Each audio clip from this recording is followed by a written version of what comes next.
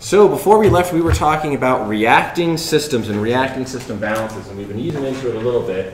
Uh, this week is where we'll start to get into uh, a lot of the details of how we do these calculations, and then uh, then we'll be doing a lot of example type problems, kind of how we did with uh, phase equilibria. Once we introduced it, then we kind of took a step back, went through a lot of examples. Uh, we'll do the same thing with the reacting systems as well. Uh, today, though, we're going to talk about a concept called Hess's law. S's, I guess it's a lot of S's. Uh, basically, this is all this is is the same concept that we've been talking about in thermodynamics so far, in that everything we're doing is path independent. And so far, we've viewed path independent along the lines of I can change the temperature first or the pressure first, or vice versa.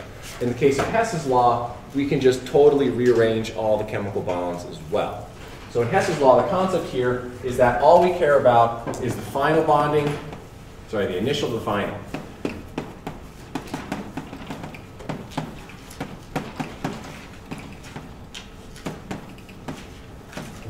So we can break apart any molecule we want in any particular way. We can choose any reaction pathway that we want to choose as long as we get from the initial configuration to the final configuration of not just temperature, pressure, but also of the chemical bonds themselves. So for example, we'll get into some more details of, of real systems. If we have a reaction system, Right, we have A plus B going to C, a very nice elementary reaction. And this will have some heat of reaction 1. Then we can have C plus B goes to E. Maybe that's the product that we're actually looking for. This can have some heat of reaction or reaction 2. Hess's law says that we can just manipulate it as much as we want. So in this case here, let's just add them together. If I add these together, the C cancels out. I add the B's. So I have A plus 2B goes to E. And now the delta H of this reaction here is just adding them together, right? I added these two reactions.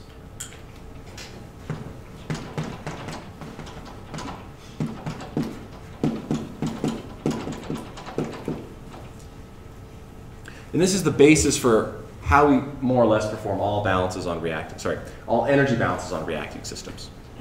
So with Hess's law, we can add, subtract, multiply, divide. We can do, we can manipulate reactions as much as we want. We can scale this by a factor of two. We can divide it by a factor of two. We can do any manipulation we want.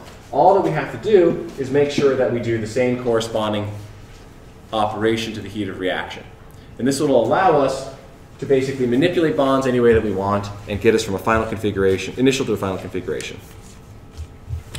So as a few more examples, if we, let's say, our same reaction again, let's just say it has a delta H of minus 100 kilojoules per mole. If I wanted to do the reverse, and so let's say C goes to A plus B, Delta H in this case is positive 100.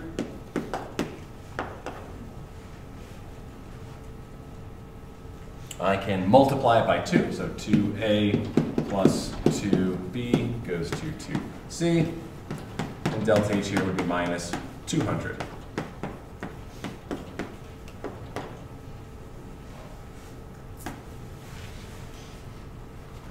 Now remember, when we say per mole, this is like per one extent of reaction, going from the left-hand side to the right-hand side.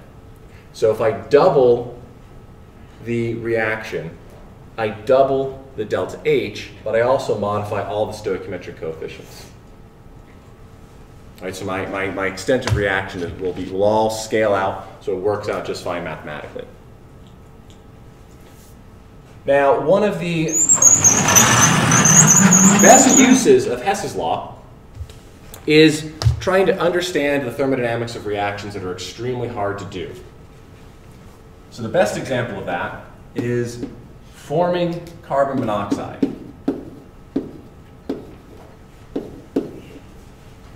So this is a reaction that we really can't control very easily. It happens, but it's not one that we can just spontaneously say, I only want to make carbon monoxide. And so it's difficult for us to measure this. So who's familiar with calorimetry? Should be an experiment that most, most people have done in some form in a chemistry class. So how these experiments are actually done is I would put, in this case, carbon, uh, oxygen in a little, they call it a bomb calorimeter. You ignite it, and then you measure how much energy comes off. And typically how you measure how much energy comes off is you're surrounding it by a reservoir, and you measure how much the temperature changes in that reservoir. If you know what the properties are, you can deduce how much energy, excuse me, how much energy was released. Now the problem with that idea, if we're going to go and do this in the lab, if I'm burning carbon and pure oxygen, I'm not forming CO2, right? I'm going to be forming, sorry, I'm not going to forming CO, I'm going to be forming CO2. So with Hess's law, we, we can figure out how the energetics of this reaction go on. So instead what we would do is we break it up into two steps. One, we would form CO2, and we can measure its heat of reaction to be very energetic, minus 394 kilojoules per mole. And that makes sense. We would expect this to be a really, really negative number. The CO2 is an extremely stable compound. The next step is we would, you know, maybe find some other way to make a little bit of CO, purify it, and then burn it in oxygen to make CO2. Measure this delta H of reaction.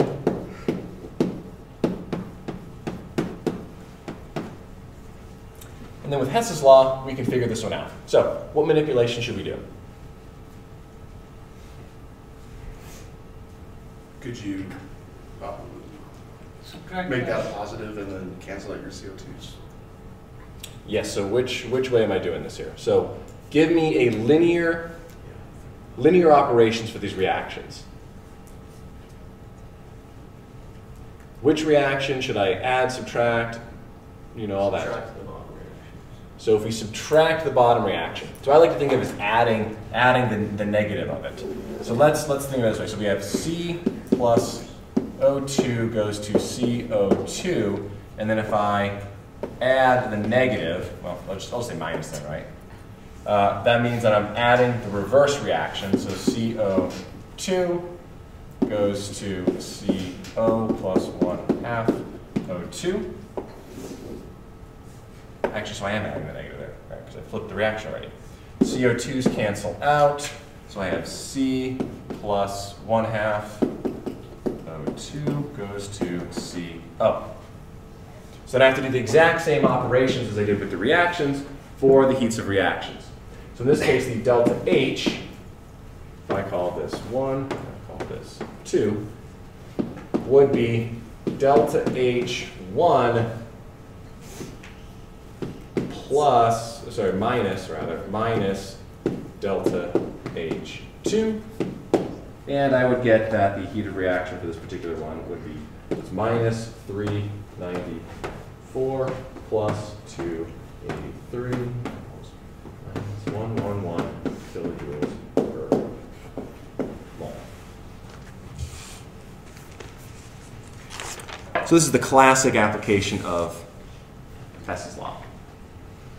Because this is difficult to do, so we're going to do simple reactions. Okay. Now, the next step is we want to talk, we talked a little bit about this but I want to go back into a little more detail, uh, the formation reactions.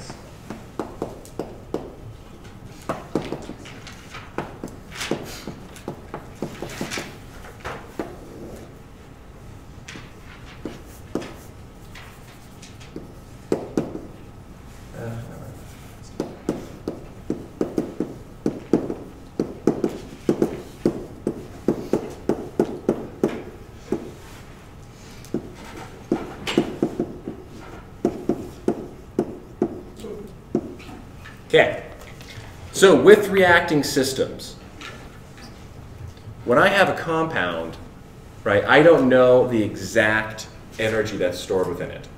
So if I'm not dealing with a chemical reaction, right, we could choose our reference state. Then we had to unpack our C sub P calculations to figure out how the enthalpy changed from one state to another. Right? Now the reason why we chose a reference state for the non-reacting systems is because we didn't know, let's say for example, the ground state vibrational energy and how much energy is stored within the system all the way from absolute zero to whatever the temperature and pressure we're dealing with is. Same concept holds here with reacting systems. In reacting systems, not only do we have to worry about all the rotational energy, the vibrational energy, the translational energy, and all the nuances associated there, but we also now have to know how much energy is stored in every single chemical bond, right? Which means we have to know exactly how every single electron behaves in the system and how much energy it stores when it's shared and all that kind of stuff. So instead, we're just going to measure it. And to simplify things, everyone has agreed to measure it at 25 degrees C and 1 bar. That is the standard or reference state for reacting systems. Now that doesn't mean that the system couldn't be built under a different set, but every time that you look up a value, you will see delta H of formation with a little, they call it a naught. I don't know if there's a more appropriate term for that. Or delta H of reaction knot. This means at 25 degrees C and 1 bar. But just as the heat of vaporization changes as a function of temperature, the delta H of reaction will also change as a function of temperature. Because if we look at any, any arbitrary chemical reaction, right, the delta H of reaction is, let's say, the enthalpy of CO2 relative to the enthalpy of CO and oxygen. If I heat the process up, this will heat require energy at a different rate than these two will. And so you're going to have an imbalance of the delta H of reaction.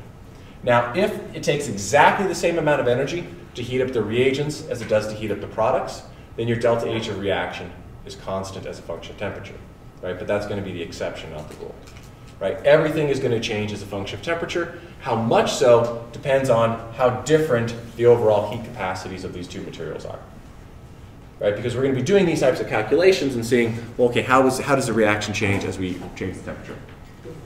Okay. So, when we're talking about the formation reaction, uh, it is always going to be at the standard or the reference state, right? We don't get to choose that because we don't want to go back and remeasure all of these delta H's of reactions because these are all measured at the reference state. So unless you want to go back and build an entirely new library, that's why we're stuck with this as the reference state for reacting systems. Now, referring to the phase, that means whatever the phase of material is at these conditions, that's the phase that we have for the reaction. So for example, if we have water,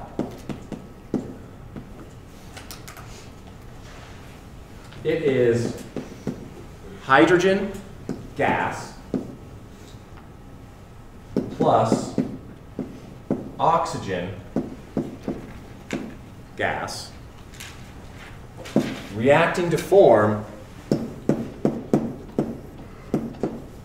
liquid water. So in the back of your book and in other thermodynamic textbooks, you will see listed the heat of formation of liquid water, delta H formation of the standard state for water in the liquid phase is equal to minus 285.8 kilojoules per mole.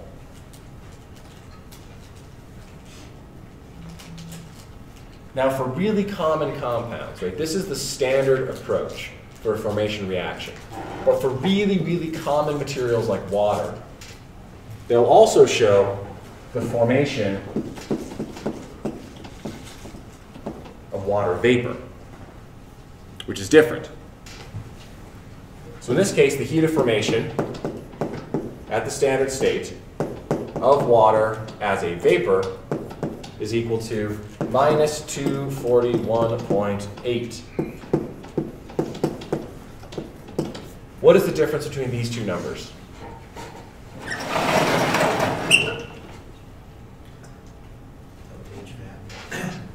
It is the heat of vaporization. So let's say, for example, I form water as a liquid, and I want to turn it into a vapor. I have to put energy into the system. So I'm going to take some of this negative energy that is being released, and I'm going to have to take it and I have to vaporize it. So the difference here is the heat of vaporization at 25 degrees C. Right, so it's not going to be the same heat of vaporization that you look up in the tables. Because the heat of vaporization you look up in the tables is at the boiling point. This is going to be larger. So the difference here is delta H vaporization at T equals 25 degrees C, which is approximately 44 kilojoules per mole. Yes? And this is still at the one bar then? The Yes. pressure? Yep. Well, so, uh, uh, yes. Well, so you have, you'd have to lower the pressure to make the. Okay. But not, eh, not entirely true, right? You could still have it just be, uh, you could still make water vapor just having it be like in air, for example. But if we did want to have pure water vapor at 25 degrees C, then we would have to lower the pressure. But if you, if you vaporize it like, a, like an evaporative cooler, like a swamp cooler, then you could still have water vapor.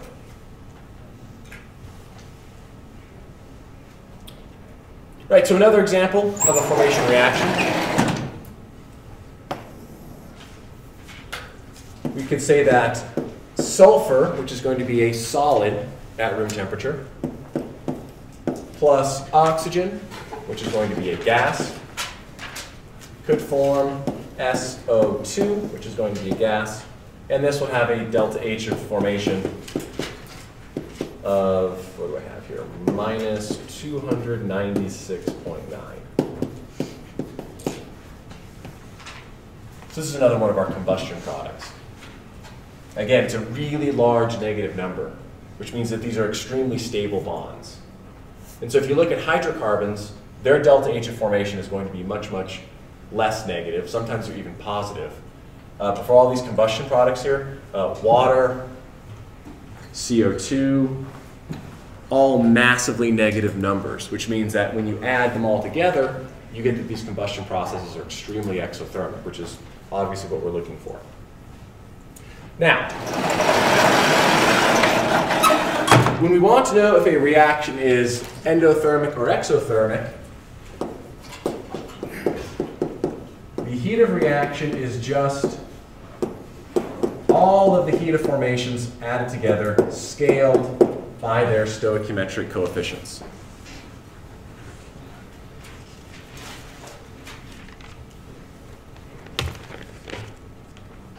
Now let's take a look at what we're doing here actually.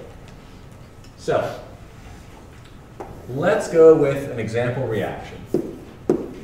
SO3 plus H2O. I'm drawing it out big just to illustrate something in a second.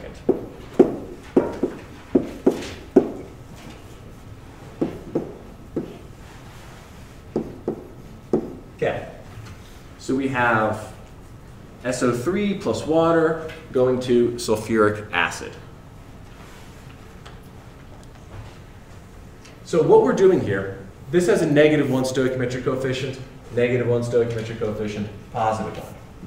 So the way to think about this process here, and what we're actually doing when we're doing our, our calculations, our energy balances, is we are going to take all of our molecules, we're going to explode them into atoms, rearrange the atoms, and then reconstruct our final compounds. So in the case of SO3, we're going to break it up into solid sulfur plus 3 halves gaseous oxygen. For water, I'm going to break it up into hydrogen gas and gaseous oxygen. We're going to react all of these individual species.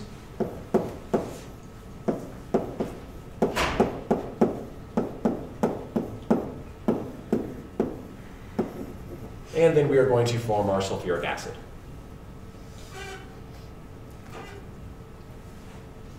So this is actually what we're doing in the calculation.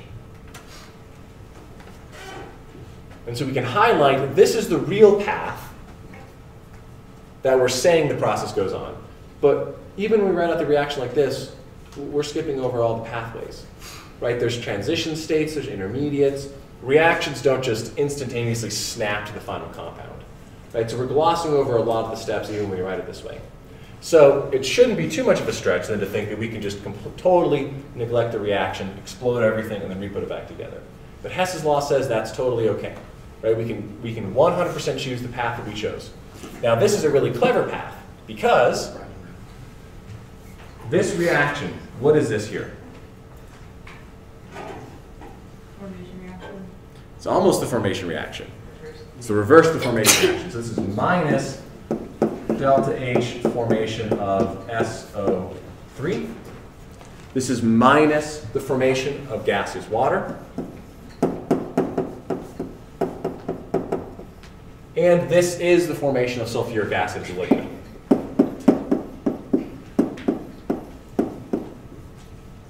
Yes? So, so it's minus because you're, you're starting with the compound and. Yes, it is just a definition. So here, oh. this is the formation reaction, going from the atomic species to the molecular species.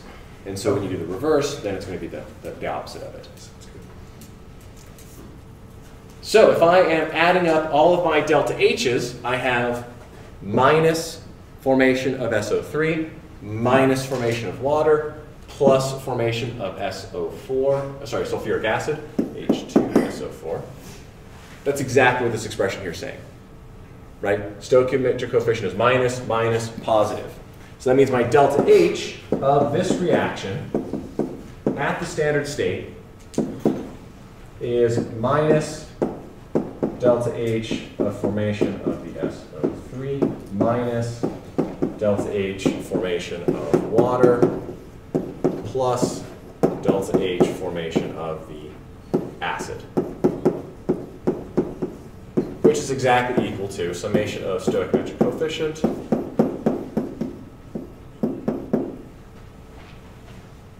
same exact expression we have there. So no difference.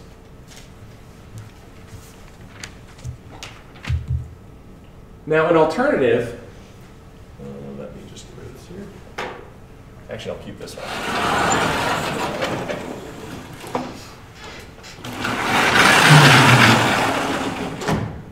So there is an alternative approach to doing everything.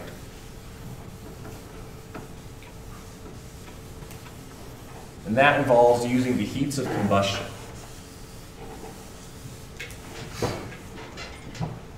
So in these circumstances here, we're going from the atomic species and we are creating the molecular species. And we use this to come up with our heat of reaction. But there's an alternative called heats of combustion.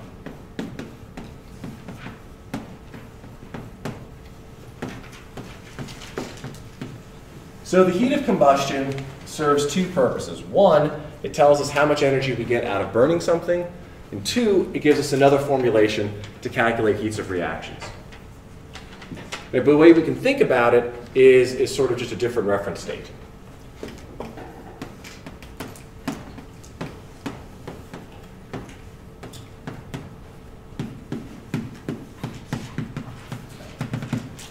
And any other products that there might be. So we have all of our standard combustion reactions.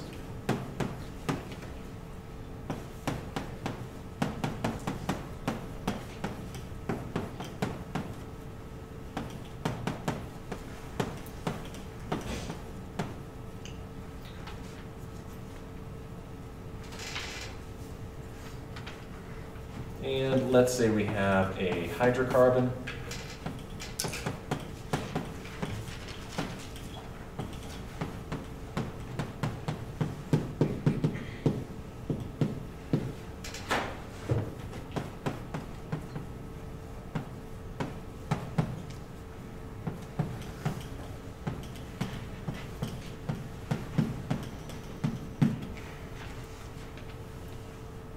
So when we, lock, when we talk about heat of combustion, what we're saying is we're going to convert everything into our combustion reaction products that we had seen previously before.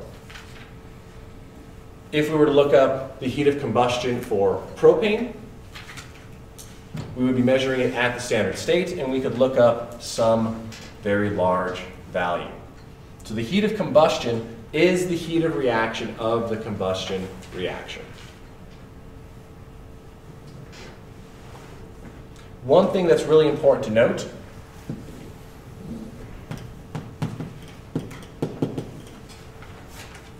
is that this is for liquid water. I should here, this is at 25 degrees C and 1 bar. Same conditions again. So under these circumstances, water is a liquid. So oftentimes when you are looking at the heats of combustion for materials, for those of you who may be working in the, some of the combustion labs, have you guys heard of the higher heating value and the lower heating value? So a few, a few heads nodding. So this is what they call the higher heating value because you're getting liquid water out of it. Now I suppose, and so the lower heating value is if this is, if this is water vapor. It'll give you a lower number because some of that energy has to go to vaporizing it. Now I guess the thought process behind this is that if I were to run a chemical plant, sorry, or, or, or sort of a, a, a power plant or some sort of thing where I'm burning a lot of materials, in theory, I could cool the water down and condense it back into a liquid and squeeze a little bit more energy out of the system. In reality, you would never really do that because it's not really high value energy. Right? It's not super useful to have sort of a lukewarm cup of coffee warm something up. Right? You want to have a big temperature difference. And so, uh, but there's two techniques. One's called the lower heating value, which is where this is a gas. The other is a higher heating value where this is a liquid. So when you're purchasing uh, a coal or an oil or some other fuel to be burning, you actually will look up what its heating value is. So it knows how much, how much energy, how many kilojoules or megajoules do you get out of burning a kilogram or a ton of it. And so these are really important values. Uh, but what we can do is we can take exactly the same idea as the heat of formation and apply it to the heat of combustion. But instead of starting off with the atomic species like hydrogen, oxygen, sulfur, and so on, our reference state is CO2, water, and sulfur dioxide. So we could also come up with the delta H of reaction for any arbitrary process is equal to the minus stoichiometric coefficient times the heat, standard heat of combustion. So if you want to know how much energy goes on in a particular chemical reaction, you could just burn all the reagents see how much energy you get out, and you could burn all the products and see how much energy you get out. And then from Hess's law in this formulation, you can figure out how much energy that reaction took place. So oftentimes that might be the easiest way to determine what the heat of reaction is, is if you can burn it efficiently, just burn it and measure how much energy comes out of solution. That's right, measure how much energy comes out of the mix. Okay. So it's pretty similar to, uh, um, for solving like delta H, um, reaction using delta H formation. Yep, it's exactly the same concept. The only difference is that we've selected a different reference state. Okay, so that wraps up sort of our fundamentals in reacting systems. And this may have been a review for a lot of, a lot of us. Uh, so what we're going to move on to now is actually talking about the approaches that we can use to solve for reacting systems, uh, real reacting system balances. Uh, so this, is, this has hopefully been a somewhat, somewhat recap material uh, from the chemistry course. Uh, okay, so let me just, uh, let's move into actual application of this to solve real systems. So for those of you who have looked at the homework, the last problem talks about two different approaches to balancing out these reacting systems. So in the Felder book, they have two approaches and they have slightly different energy balances. One is called the heat of reaction approach.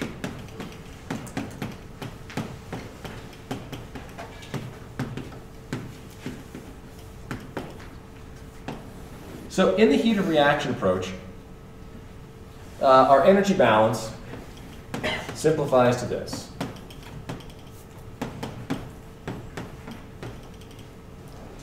Where delta H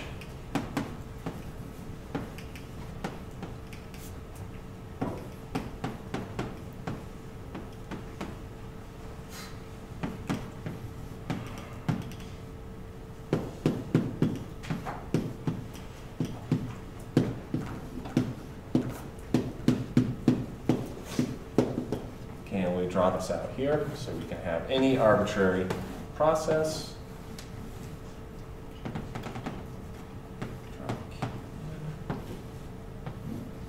Okay.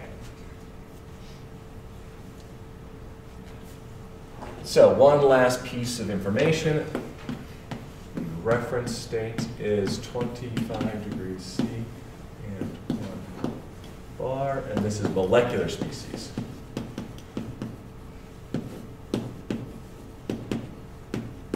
Now, the reason why I go through this methodology, I don't recommend the heat of reaction approach. But I'm going to teach you about it because this is what you probably are accustomed to seeing based on a chemistry class or maybe even earlier chemical engineering classes for balancing processes.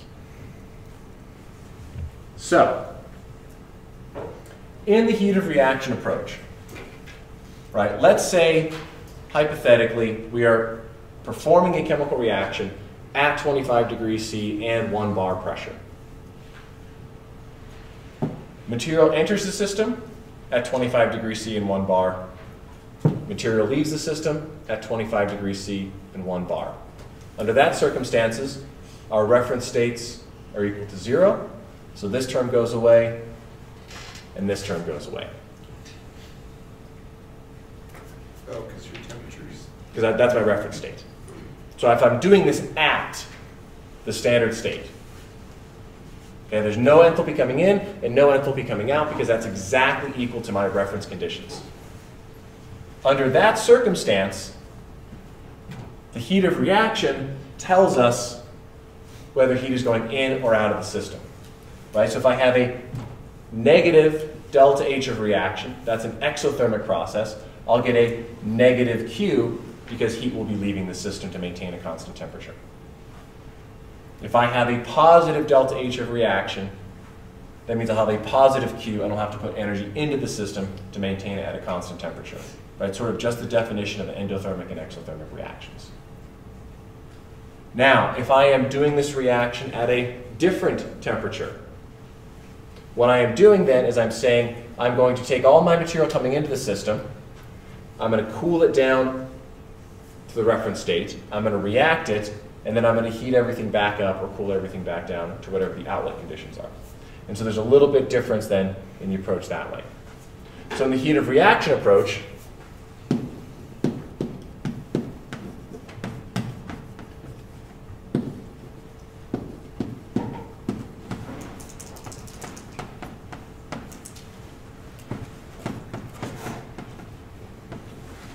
we're effectively following this pathway where we cool everything down, typically cool. I mean, in theory, you could heat it up, but in general, we're going to be warming. We're going to be at temperatures higher than 25 degrees C for a real process. Go to the reference state, react it at the reference state. Notice I have the little naught there saying that this is the heat of reaction at the standard state, the reference state. Then heat everything back up to the products. So the enthalpy coming into the system is associated with that cooling or depressurizing process, and the material out is associated with that step here, and then obviously the delta H of reaction is there. But this is the approach that most everyone here has probably applied in a chemistry class. Right? This is the concept of what an endothermic and exothermic reaction are. Right? If you are performing the reaction at a constant temperature, does heat get released or does heat get consumed? That is just the definition of basically an endothermic and an exothermic reaction. And so what this term here does is it basically just codifies what exactly is going on. Right? This is the mathematical equivalence of doing that process that you see in chemistry class. Now I want to contrast that with the heat of formation approach.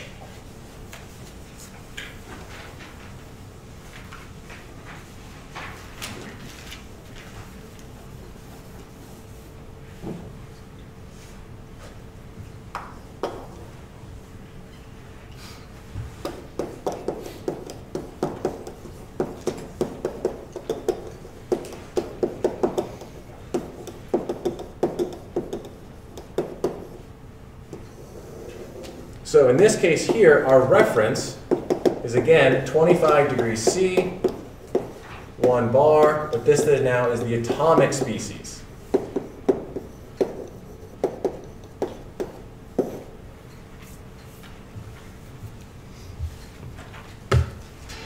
Now our energy balance is quite a bit simpler.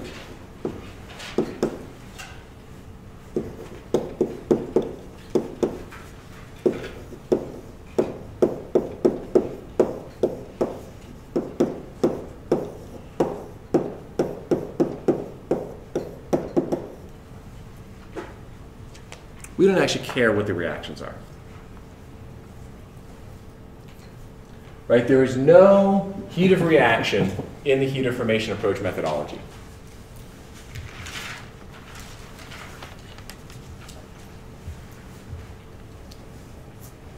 So in this circumstance, what we're doing if we have our reactants going to our products,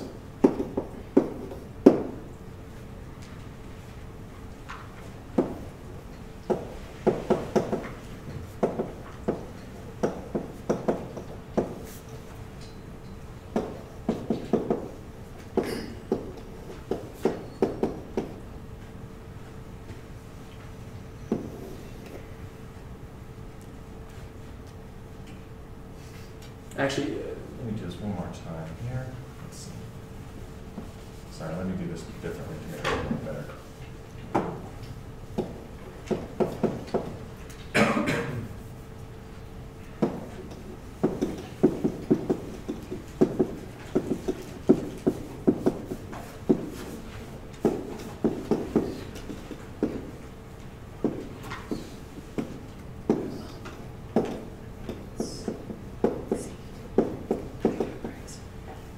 Okay, this is better, this is actually, this is a better way to think about it. So, I'm gonna take all my reactants, I'm gonna cool them down to the standard state, or heat them up if it needs to be. Then I'm going to explode them into the atomic constituents. I'm going to rearrange all of the atoms into how they should look for uh, the products, form the product molecules, and then heat the product molecules up to the outlet conditions. So typically, this is going to be a delta H heating and cooling. This is going to be your formation reaction. And then the opposite this way. Actually, rather here, it's negative formation reaction.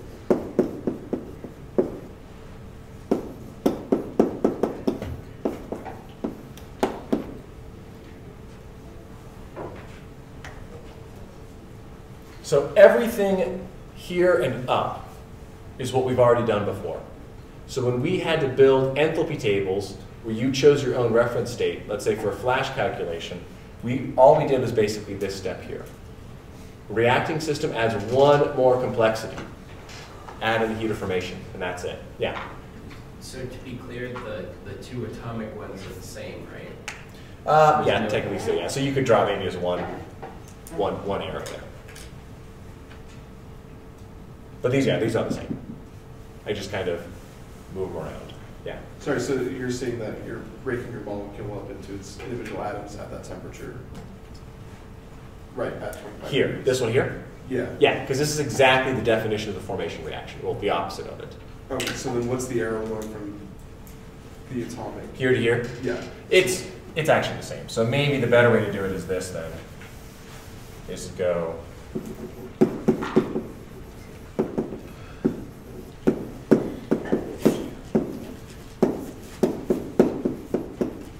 That's the better way to think about it. Yeah. They're the same. You're just sort of just putting them next to their friends that they're going to be forming with.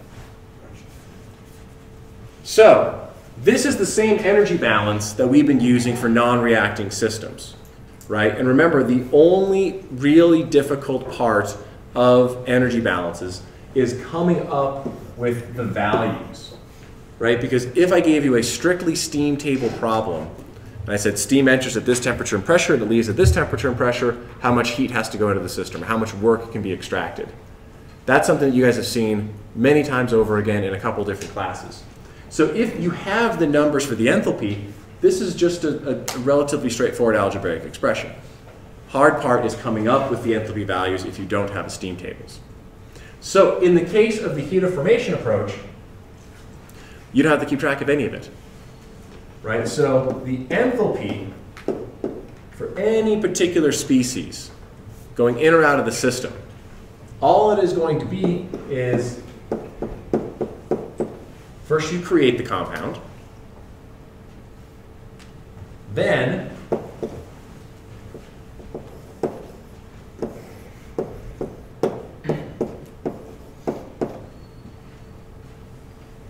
you vary its temperature, or maybe you have a heat of vaporization thrown in. Right? It's just a bunch of steps going from the reference state to whatever your final set of conditions are. So that depends on what is the temperature, pressure, and phase of my material in the reactor. But all of those steps are exactly the same as what we've done already for you know, energy balances on a flash calculation, except that one right there. All we're doing is just add in the heat of formation, and you can basically keep doing what you were planning on doing. So in many instances, like if you're doing a really big process flow simulator software, it might be worth your while to always consider every process as a reacting system.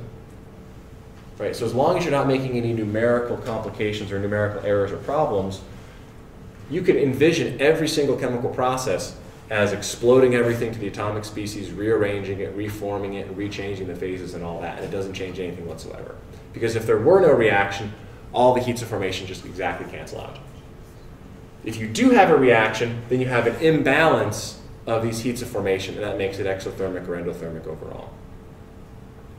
But for doing reacting systems following this heat of formation approach, you don't have to change a thing. You can keep exactly the same energy balance. You can use exactly the same formulation. The only difference is when you're constructing the numeric value, you no longer get to choose your own reference state, and you have to choose the reference state of 25 degrees C in one bar, and you just add in that heat of formation. So basically, you just do this over and over again for all the individual species, and that's it. You've balanced a reacting system relatively straightforward. So the difference between these two approaches, right?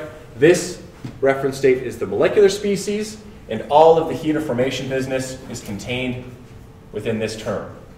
But they are algebraically 100% exactly the same. Because if I take this expression here, and I substitute it into summation of out minus summation of in, all of these heat of formations will calculate a heat of reaction. So if you wanted to go through the exercise, substitute this expression into here, calculate a heat of reaction, you'll pull out exactly that formula there. It's exactly the same thing. The only difference is what do you think is the easier one to solve. This requires me to remember a lot more stuff. Again, if it's a really simple system, if it's a constant temperature reaction, and I know the heat of reaction, then yeah, maybe this is the better way to go. Because then I'd have to go back and look up all the heats of formation. But if I'm giving no information and I'm just going to choose one, two approaches, and I have access to the formation information, I'm going to go here. Right, so a lot of it depends on what information you're given to choose which of the two methodologies. All right, any questions? Cool. Have a good week. Work on the homework, please, and uh, keep an eye out for the project. I'll send an email when that's done.